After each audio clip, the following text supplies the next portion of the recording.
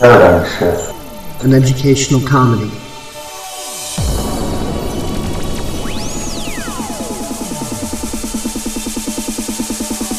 It's not a cause, not a movement. It's not a social group you can slap a label onto.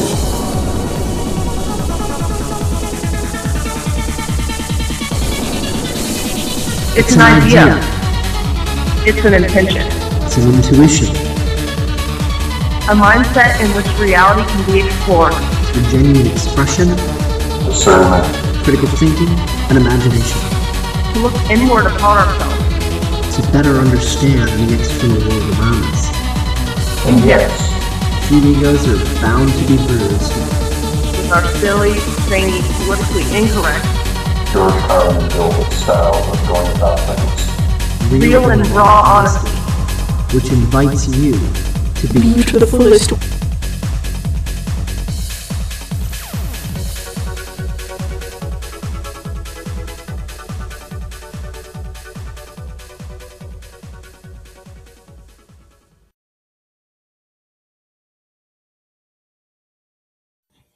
Okay, so people have a job, they go off every single day and they go work, and the average salary in the city of Austin is, and Google told me this, fifty-nine or fifty-four thousand ninety-one dollars per family. Let's just write that on the board. Fifty-four, four, zero, nine, one.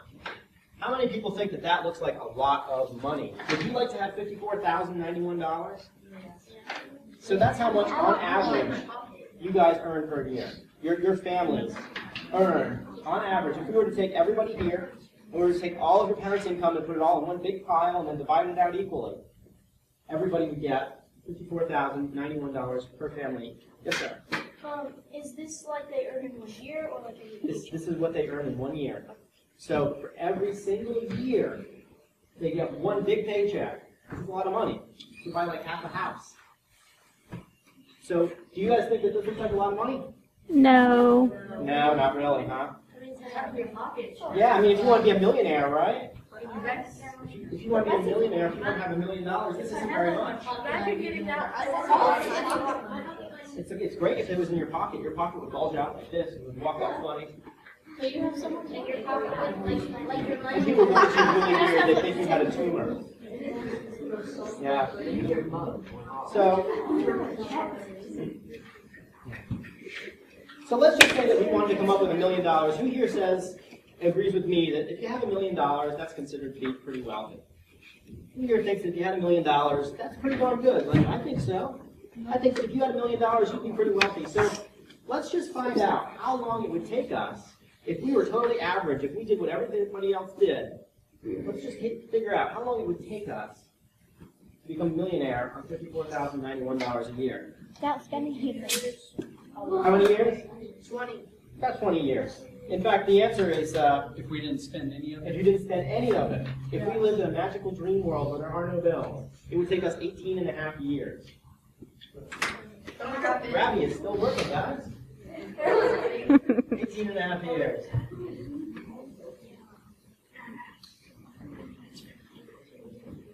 Who here wants to wait 18 and a half years for their million dollars? My kids would already be grown up. Your kids would be grown up by then, right? You'd, you'd be a grandmother by the time that happens. But, uh, oh wait. It would take more than that because you still have to spend Yeah, we're getting to that point. hundred dollar, thousand dollar. Yeah, I forgot about that. Oh, thanks so much for reminding me. I forgot about taxes, guys. The tax man, the tax man always gets his share, right? So whenever you earn money in the USA, the government takes a piece of it. It's because they provide things like roads. Just ask Obama, he'll tell you. I did the research, and it appears that the taxes on fifty-four thousand ninety-one dollars are eight thousand seven hundred fifty-seven dollars and eighty-two cents. So let's just subtract that because we don't even see that. So eight thousand seven fifty-seven. And you know what? We'll drop the pennies because it doesn't matter. So you'll take the penny. Yeah. So who here can tell me what fifty-four thousand ninety-one minus eight thousand seven hundred fifty-seven is? Who here can do subtraction?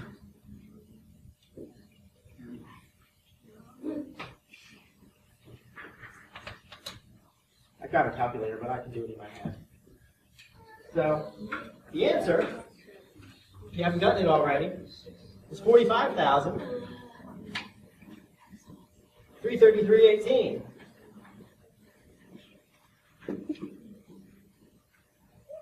So, you don't even see this. The government takes this. If you have a job, the government takes this much of your money. Without, you don't even see it.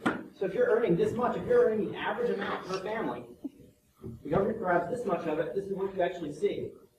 So how long would it take us to become a millionaire if we were just stuffing that money in our mattress all the time, but we only had this much to work with? 25 years? Yes, sir. 21. 21 years? Okay. What's your guess over there? What do you got? What you got for me? How long do you think it would take?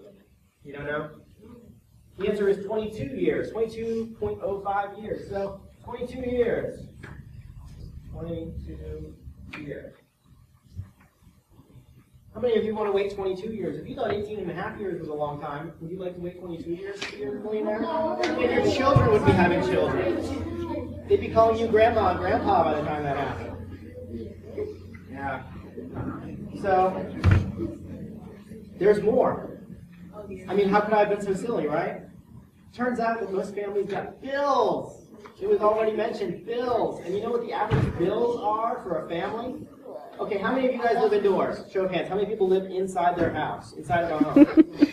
I feel very sorry for somebody who doesn't have their hand raised right now. I will buy you a hotel room. How many people got here in a car? Did you get here in a car? I got here in a car. Yeah.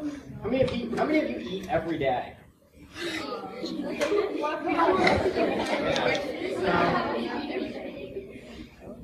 As it turns out, bills eat up a very large chunk of this money. That's food. Yeah, it's food, but you still can't save it, right? Yeah, that's that's the money to feed yourself. It's the money to clothe yourself. It's the money to put yourself in a house, to give yourself a car. Do you know how much the bills are? I do, because Google told me. Thank you, Google. Thank you, Google. The answer is thirty-seven thousand. Who answered thirty-seven thousand? I, You are smart. Good job. Thirty-seven thousand. These are, these are the average bills for a family in Austin, right here. The people in this room. This is what your finances look like. Thirty-seven thousand, four hundred sixty-five dollars, and twenty-one cents. Bills. Bills, bills, Bills, bills, bills. We just can't say Nobody likes bills. Nobody likes bills. No. But this is what your bills are. So what is the difference? How much money do we have left? Eight thousand three hundred thirty-three. So we have seven thousand dollars, eight hundred sixty-seven, ninety-seven. That's how much money we have. If you are out there working a normal job, this is how much money you end up with. Seven thousand eight hundred sixty-seven dollars every year. That's less than five hundred dollars a month. And that doesn't include things like going to Schlitterbahn. That doesn't include things like going to the movies. That doesn't include fun stuff. That just includes living indoors, driving a car, having a house, having clothing, eating food every day. Can, can you guys imagine why when your parents say, I can't afford it, what they're, where they're coming from now? When you ask for something that's kind of expensive, so you want to buy an Xbox or something. Yeah, we're accounting for gasoline in there too. It's such expensive, it's hard, it's expensive to live. So we have this seven thousand eight hundred sixty-seven dollars, how long? Uh, two and a half. Two and a half people in two, point six kids. Yeah, it's the demographics work, man. You can have point six of a kid. Forty-three years. Forty-three years, huh? So who has a guess? How long would it take us if we just took this money and we stuck it in our mattress every single year? More All than of a this money, hundred we never years? did anything fun. How long would it take us to become a millionaire? More than hundred years. No, Eight forty. Thirty-three, forty? What am I, forty? Okay, so you're seventy-nine. Okay, so are you ready for this? You can't get wrong. Okay, watch this, guys. This is important. This is really important. So it would take you 127 years. I beat that. Yeah, I'm not going to live to 127. And if I do, people would be saying, he's one really old guy. His beard is like down to here.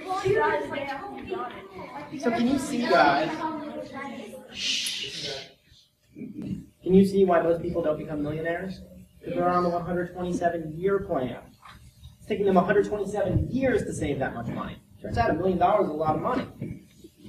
And that doesn't account for spending it. That just means you have it. That doesn't mean that you have it to spend. That doesn't mean that you bought a Ferrari. That just means that you have a million dollars sitting in the bank. And that's what most people do. So I have good news. that We're going to teach you a different plan. I'm going to teach you how to do something a little bit different today. See, we just talked about trading time for dollars.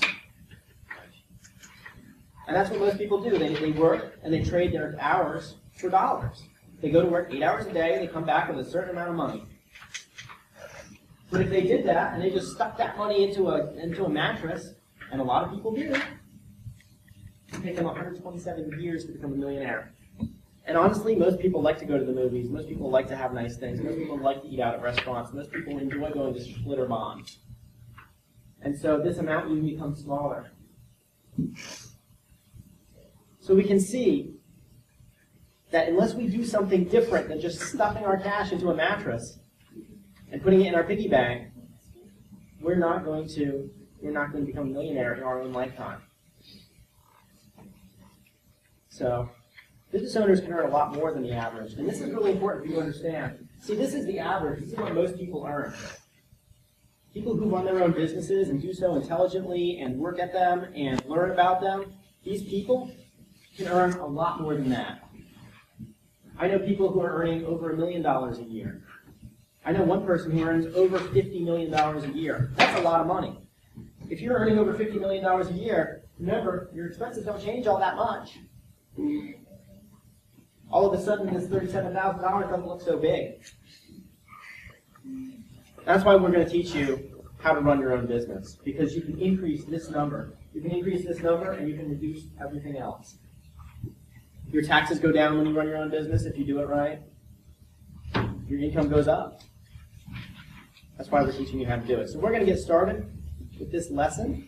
And the first thing that we're going to have to do is we have to understand that it costs money to start a business. In this class, we're going to run a business for you. We're going to give you a whole business plan, but it costs money to get started.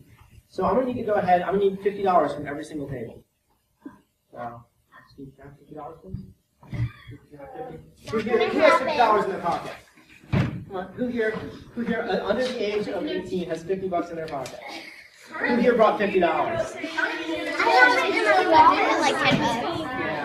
Okay, so we're gonna have to do something different, right? All right. Listen up, guys. Can anybody tell me how you earn money if you don't have your own business yet? How do you do it? How do you do it? How do you do it? From your grandma. Which, what else you got? Uh, investment.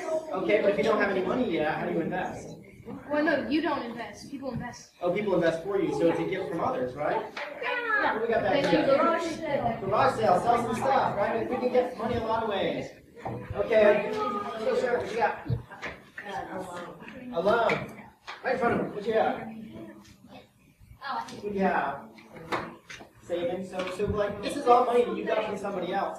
But unfortunately, these people aren't here right now, so you know what we're gonna have to do? We're gonna have to do something called work.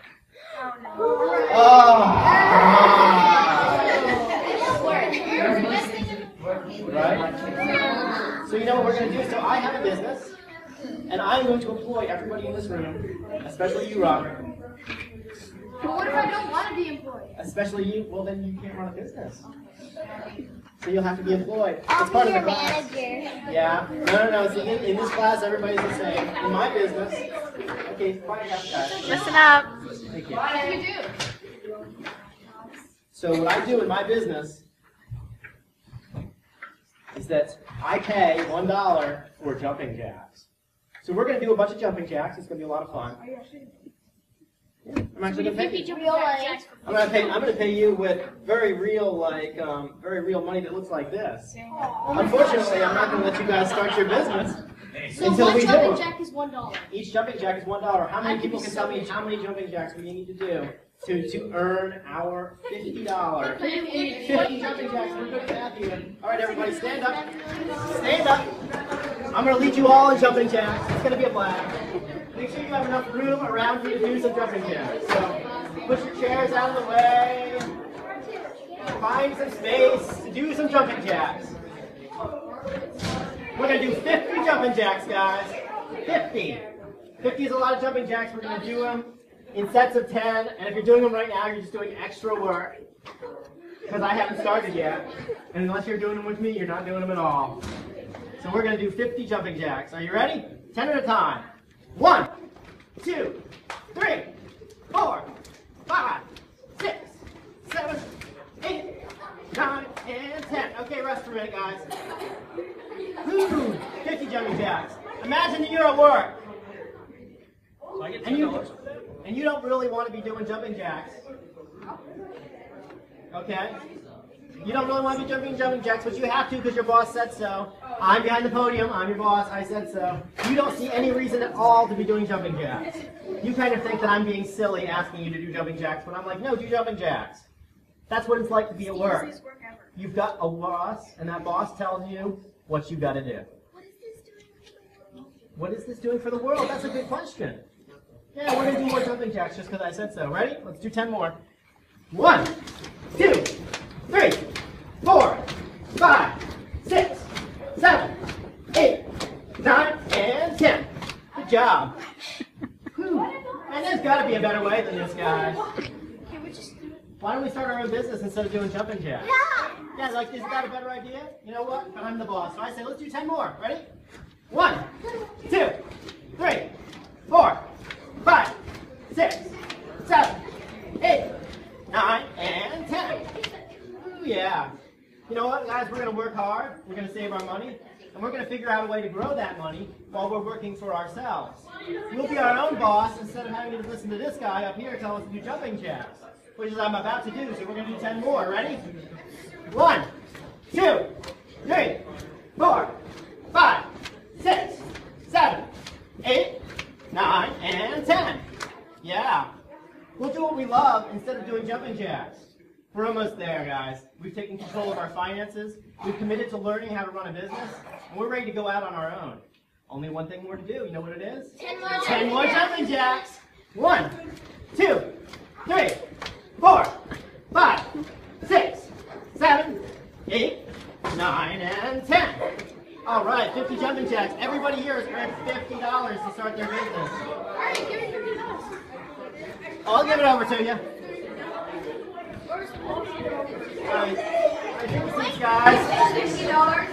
Yeah, so we've all got 50 bucks now. Yeah, write on the board. Everybody here has.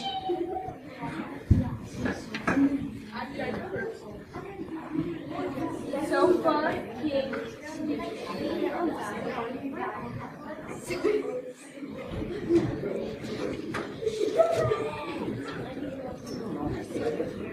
So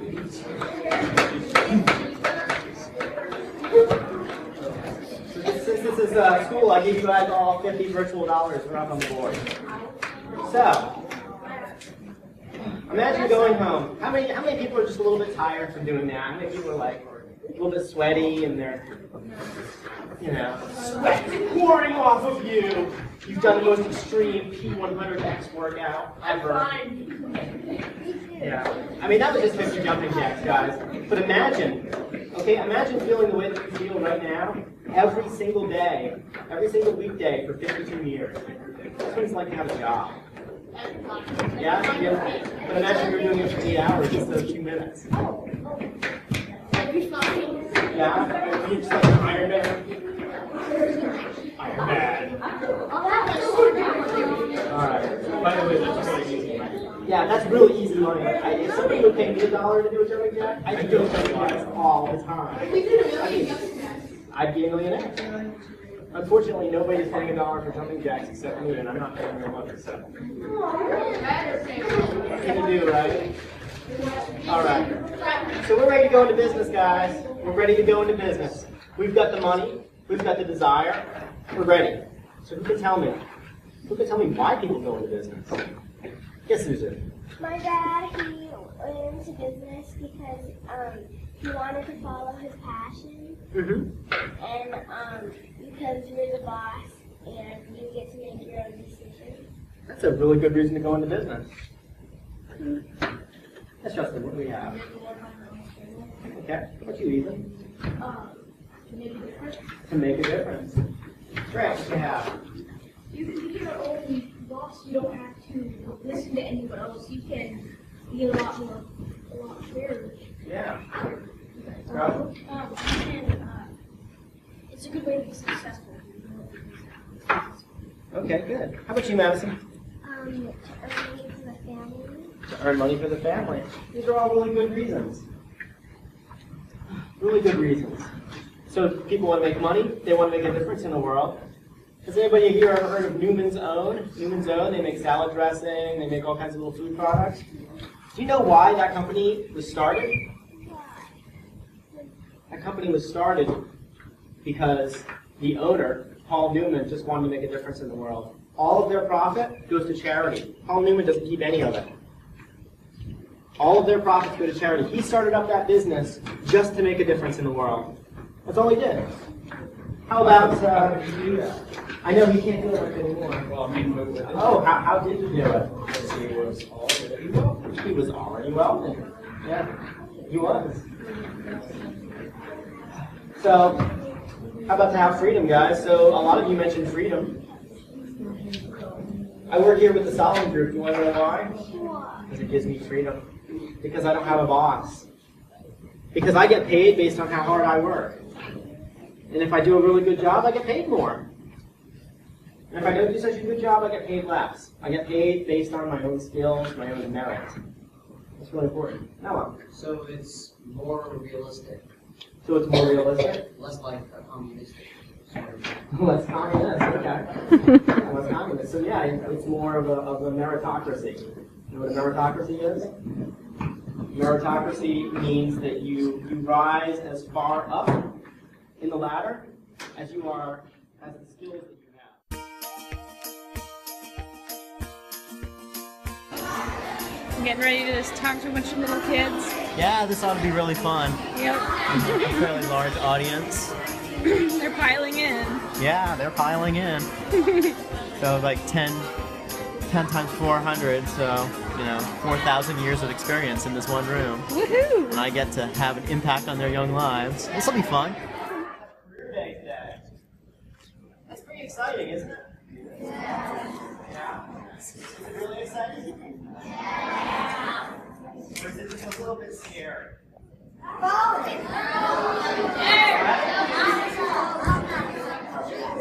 It is. It's a little frightening because you guys really know how to be good students. You guys have good teachers. You're in a wonderful, supportive place. And you're good at what you do. I look out, I see all these bright faces, I see the future of America. It's so wonderful. It's so great to know that you guys are going to driving progress for the next 30 or 40 years. Hey, I got a microphone. Sweet. I was just close my eyes and imagine that I was doing this. Hey, y'all doing this. It's pretty exciting. So, anyways, today I'm going to talk to you about three things that will help you to be really successful in life. When I was in fourth grade, fifth grade, I wasn't entirely sure if I was going to make it. I saw all these adults around me, they seemed to be so smart. They just, they had everything together, they had everything under control. And me? I didn't know. I didn't know if I had what it takes to be successful in life. Well, I mean, I'm wearing a pretty nice suit now, presenting to you, so I guess I did okay, right? Yeah, nice tie.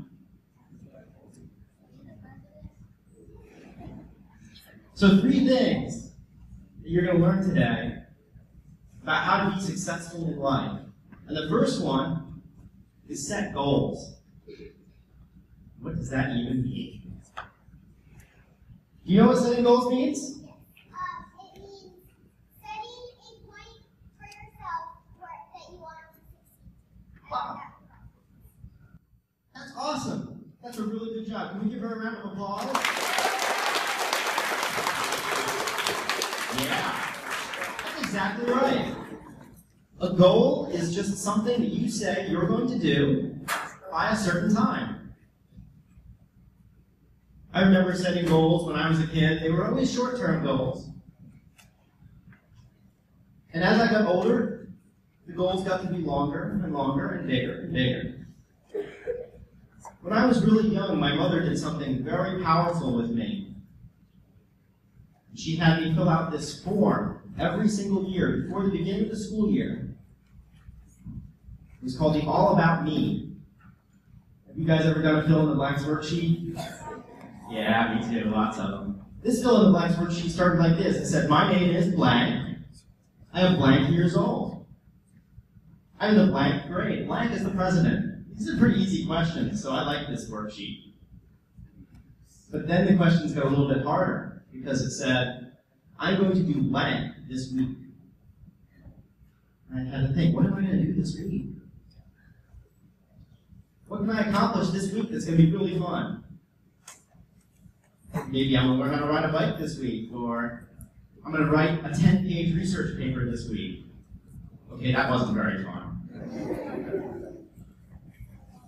It's still a goal. And then after that, it said, I'm going to do blank this month. And I had to really think, what project is so big that I can get it done in a month? Bigger projects. Like, I'm going to go to Gettysburg. I didn't even have a car. I had to convince my parents to take me. And then she said, last one was, I'm going to do blank this year. Huge, huge goals, because it takes a whole year to do them. And you have to learn how to plan, you have to learn how to prioritize.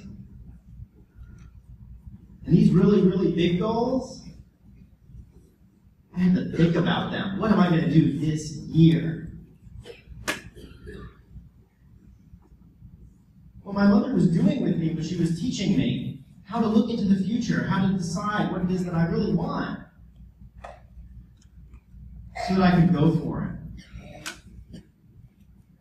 And by being specific about what I wanted and being specific about when I was going to get it by, that was, what, that was what setting a goal was all about.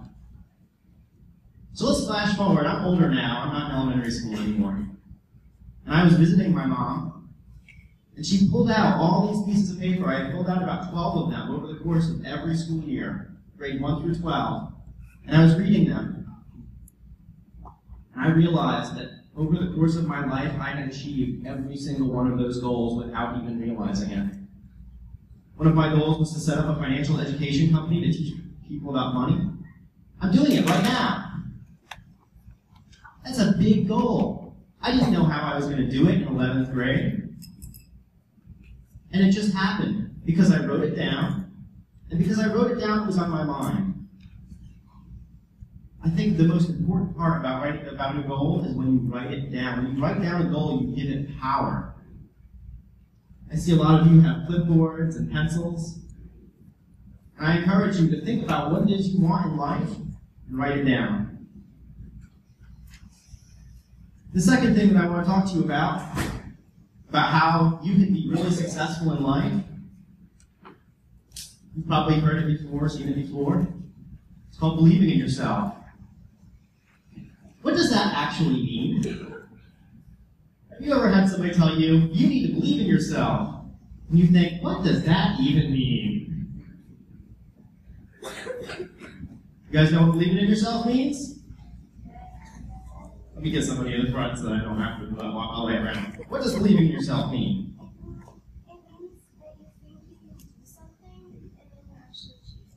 That's right. How many people believe the world is round? Yeah, that's good. If you don't have your hand up, that's okay. We'll get to you after class. Have you ever thought about why you believe that? Right, because somebody taught you. But not only that somebody taught you, then you kept thinking that thought over and over and over again. That's why you believe it. A belief is nothing more than a thought that you think over and over and over. So when you believe in yourself, you just have to think, I can do it over and over and over. And you have to think that you can do it even when people around you think you can't. How many people have ever had somebody discourage them and say, You can't do it, you're not good enough, you're not smart enough, you're not pretty enough? Has that ever happened to you? Yeah. It has, hasn't it? It's happened to me too. And the thing that has really set me apart in life is that I believed in myself more than those other people didn't believe in me. Because at the end of the day, the person who has to believe in you is you. So every time somebody says you can't do it, you have to say, I can. You have to think it and you have to say it. I can and I will. Will you guys help me out saying that? I can and I will. That's right. One more time. I can and I will. Think about what you want in life. You can and you will.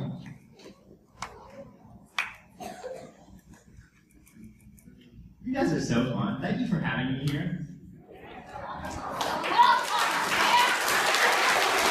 So, hey, I'm not done yet. Yay! I'm not done yet. Yeah. So believe in yourself. I just taught you how to do it. Whenever anybody tells you you can't, you say, I can.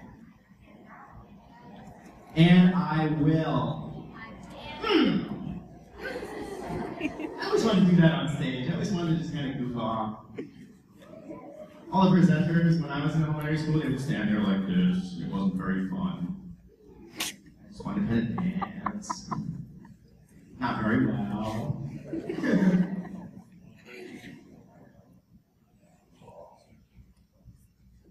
now I have to look at my notes. I totally forgot where I am. Set goals, check. Believe yourself, check. Oh yeah. You gotta keep on trying. See, nobody starts by being the best, but people who keep trying end up being the best. How many of you know how to ride a bicycle? Yeah. How many of you know how to ride a unicycle? Yeah! I can ride one of them too. So riding a bicycle was hard. Okay, I remember starting, we didn't have training wheels when I was a kid, so I fell down a lot. And I remember the first time that I actually got on the bicycle and I made it move, I ended up right in a bush. I was riding along, riding along, riding along. Here, here comes a bush. I don't know how to stop though. Sideways into a bush. And it was a pricker bush. It hurt. But you know what? I just kept at it. And the second time I got on a bicycle and I made it move, I didn't end up in a pricker bush. I was able to make it stop and then get off without getting bruised, and it was sweet.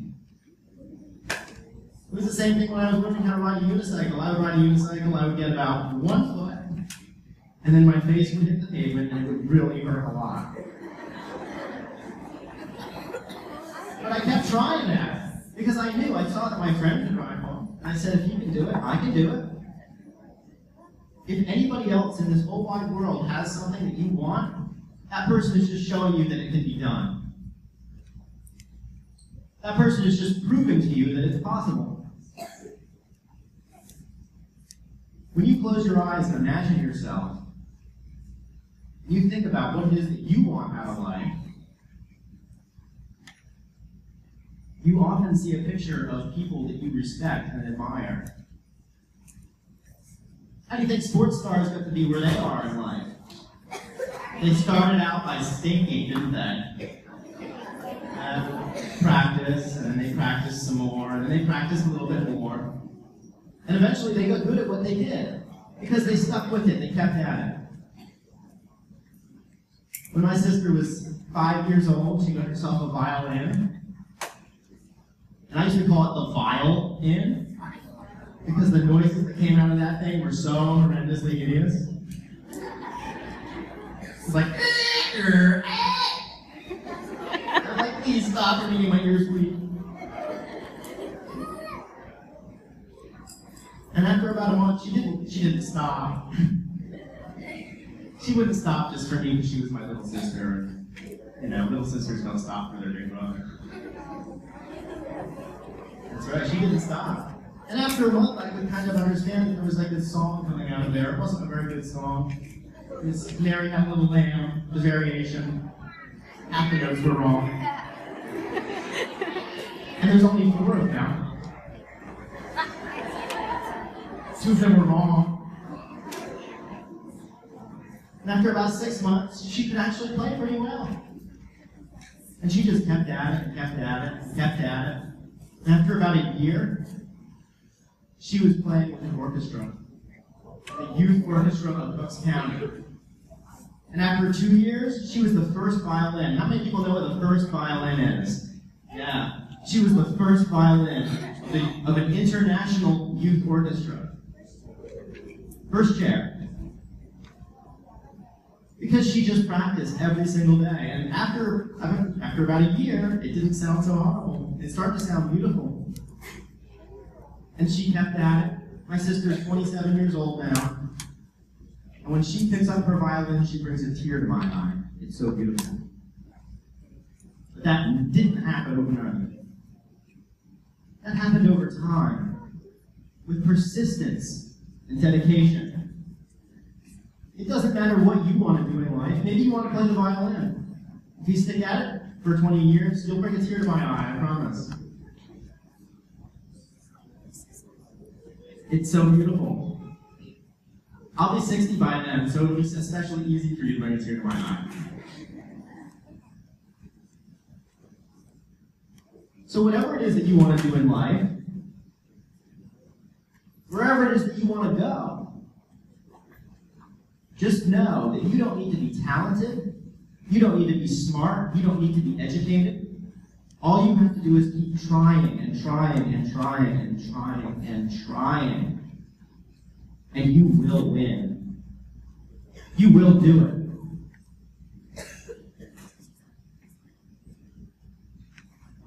You guys are in career day right now, which means you're thinking about the rest of your lives. You're thinking about all the opportunities that are open to you.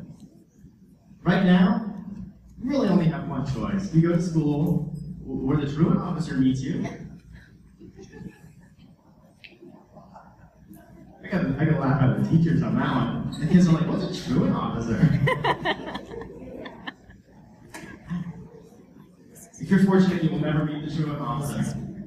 Stay in school. No, I'm his wife.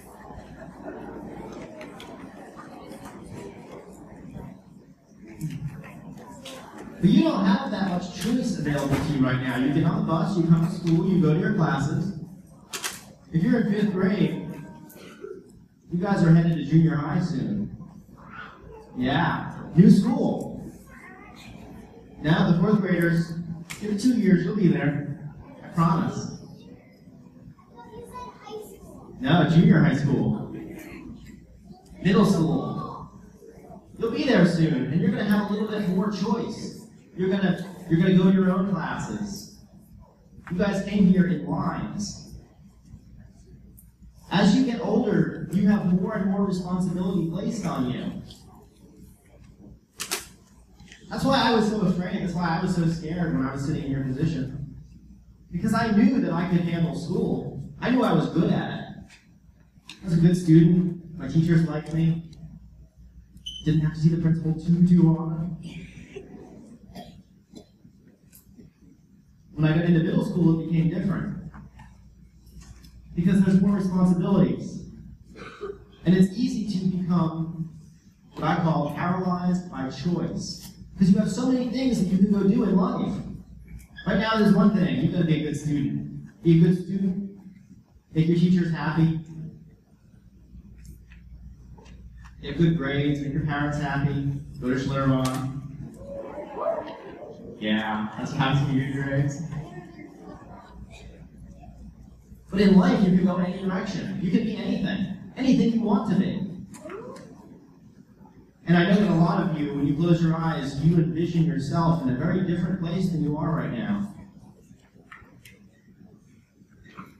I'll tell you, when I graduated high school, I didn't know what I was going to do. Didn't know.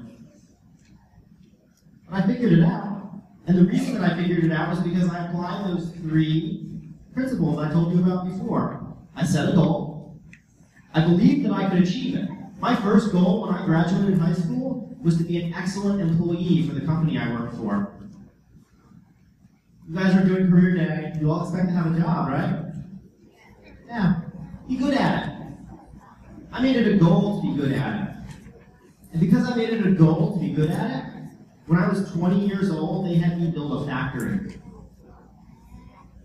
That's a pretty high honor for a 20 year old to be asked to build a factory. It was all because I set a goal to be excellent at what I did. That's it. I just said I'm going to be excellent. And then every single day I, I embodied that excellence. So set a goal, and a proper goal is written down, and it has a time constraint. So write it down and say, I will do this by this date. Be amazed what happens. Second thing, again, I believed in myself. I said, I can do it, I can do it, I can do it. Even when people told me I couldn't, even when my boss told me I couldn't, even when my friends said, You're not going to be able to build a factory. You're too young, you're too inexperienced. You can't do it. Well, I did. And the third thing is be persistent. Keep on trying. The first time I did something, I wasn't any good at it. The second time I got better, and the third time I got better, and better, and better. And it's just like you with riding a bike, or a unicycle, or anything that you choose to do. When you came into kindergarten, you probably weren't all that good at school, just because you didn't know how to do it. Your teachers helped you, you helped each other. And you learn, and now you're in fourth and fifth grade. You are the oldest kids in this school. Yeah, the fifth grade is the oldest kids, huh? Yeah, you're almost the oldest. You're the year. But the younger kids look up to you. They look to you to see how how to be good at student, how to be good at school, how to be a good student. And the only reason that you're good at it is because you just did it over and over and over again. And I'm sure that every single day you want to be coming to school, right? No, not really, huh? Was it sometimes hard to come into school? Yeah, because of tests, right? Or because you didn't do your homework and the teacher doesn't believe your dog ate it for a third time. It's tough. But you kept doing it, and you kept doing it, and now you're good at it. Yeah?